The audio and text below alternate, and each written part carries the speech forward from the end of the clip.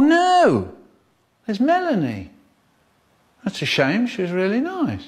There's